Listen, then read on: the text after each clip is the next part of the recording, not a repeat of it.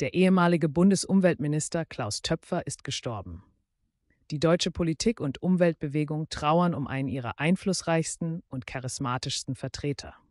Am Dienstag verstarb Klaus Töpfer, ehemaliger Bundesumweltminister und langjähriger Direktor des Umweltprogramms der Vereinten Nationen UNEP im Alter von 85 Jahren. Seine Familie bestätigte den Tod, der in Karlsruhe, seinem letzten Wohnort, eintrat.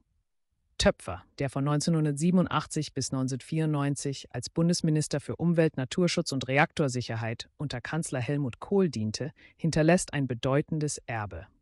Er war maßgeblich an der Einführung des deutschen dualen Systems zur Mülltrennung beteiligt, das mittlerweile weltweit als Vorreiter gilt. Töpfer's commitment to environmental issues and sustainable development, however, went far beyond national borders, earning him international recognition. Life and career.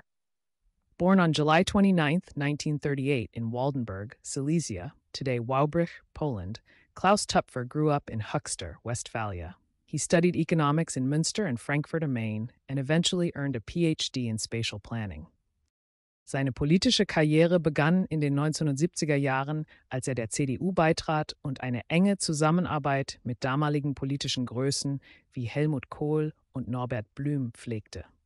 1985 übernahm Töpfer das Amt des Ministers für Umwelt und Gesundheit in Rheinland-Pfalz, bevor er zwei Jahre später zum Bundesumweltminister berufen wurde. In dieser Zeit setzte er sich vehement für den Ausstieg aus der Kernenergie ein und förderte erneuerbare Energien.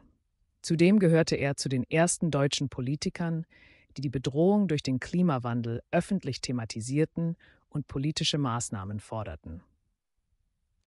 Er setzte sich intensiv für den Erhalt der Biodiversität und den Kampf gegen die Wüstenbildung ein. Sein Engagement zur Bekämpfung der Armut und zur Förderung einer nachhaltigen Entwicklung wurde vielfach gewürdigt. Unter anderem erhielt er den Deutschen Umweltpreis und den Ehrendoktorwürden mehrerer Universitäten. Im Jahr 2009 gründete er das Institute for Advanced Sustainability Studies, IASSS, in Potsdam, eine Forschungseinrichtung, die sich globalen Nachhaltigkeitsfragen widmet. Bis 2015 blieb er deren Direktor und trieb Projekte zu Klima- und Umweltschutz ebenso voran wie interdisziplinäre Forschungsansätze. Letzte Jahre und Vermächtnis. Auch nach seinem offiziellen Ruhestand blieb Klaus Töpfer ein gefragter Redner und Berater. Er war aktiv in zahlreichen Beiräten und Stiftungen tätig, darunter die Deutsche Bundesstiftung Umwelt und der Club of Rome. Sein Einfluss prägte maßgeblich die deutsche Umweltpolitik, die durch seine Initiativen und Programme auf internationalen Konferenzen große Anerkennung fand.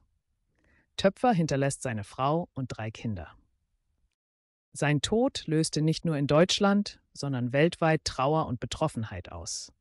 Bundespräsident Frank-Walter Steinmeier lobte ihn als visionären Vordenker und unermüdlichen Kämpfer für Umweltschutz und Nachhaltigkeit. Viele Weggefährten erinnern sich an ihn als jemanden, der stets die Kooperation und den Dialog suchte, mehrere Sprachen sprach und kulturelle Barrieren überwand. Politische Kolleginnen und Kollegen wie die ehemalige Umweltministerin Barbara Hendricks und der derzeitige Bundesumweltminister beklagten den Verlust eines großen Politikers und Vordenkers. Klaus Töpfer hat nicht nur die deutsche Umweltpolitik geprägt, sondern auch weltweit Maßstäbe gesetzt, sagte Hendricks in einem Nachruf.